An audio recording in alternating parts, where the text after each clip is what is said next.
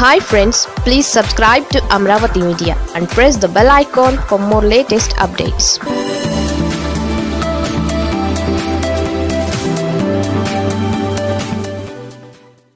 YCP ఆదాయం ఘనం ఖర్చు స్వల్పం టీడీపీ పరిస్థితి పూర్తిగా రివర్స్ ఏపీ అధికార పార్టీ వైసీపీ తన విషయానికి వస్తే మాత్రం పొదుపు మంత్రాన్ని జపిస్తోంది.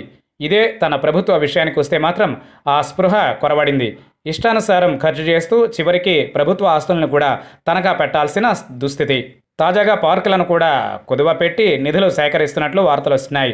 ఈ నేపథ్యంలో ప్రాంతీయ పార్టీల ఆదాయంపై Association of Democratic Reforms National Election Watch సంస్థల తాజా నివేదిక చర్చనీయాంశమైంది.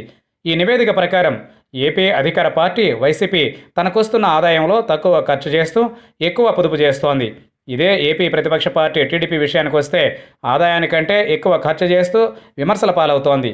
గతంలో తన పాలనలో ఇలాగే చేసి అధికారాన్ని పోగొట్టుకుందనే అభిప్రాయాలు వ్యక్తమవుతున్నాయి.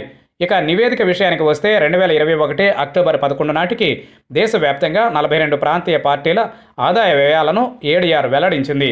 టీఆర్ఎస్కు నూట ముప్పై పాయింట్ నాలుగు ఆరు కోట్లు శివసేనకు నూట పదకొండు పాయింట్ నాలుగు సున్నా కోట్లు వైఎస్ఆర్సీపీకి తొంభై రెండు పాయింట్ ఏడు మూడు తొమ్మిది కోట్లు టీడీపీకి తొంభై ఒకటి పాయింట్ ఐదు మూడు కోట్లు బిజు జనతాదళకు తొంభై పాయింట్ మూడు ఐదు కోట్లు వచ్చాయి.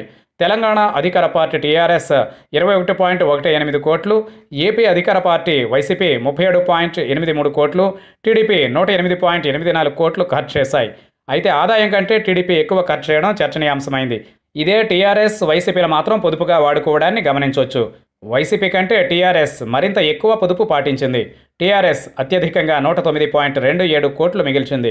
వైసీపీ మాత్రం యాభై నాలుగు పాయింట్ తొమ్మిది సున్నా కోట్ల మిగులుతో ఉంది. టీడీపీ పదిహేడు పాయింట్ మూడు ఒక కోట్లు ఎక్కువ ఖర్చు చేసి అప్పుల్లో ఉంది. పార్టీలో మాత్రం పొదుపు పాటిస్తున్న వైసీపీ ప్రభుత్వంలో మాత్రం అందుకు భిన్నంగా వ్యవహరిస్తుండడమే అసలు సమస్యగా మారింది. ఇదే పొదుపు సూత్రాన్ని ప్రభుత్వంలో అమలు చేస్తే ప్రభుత్వానికి మంచి పేరు వస్తుంది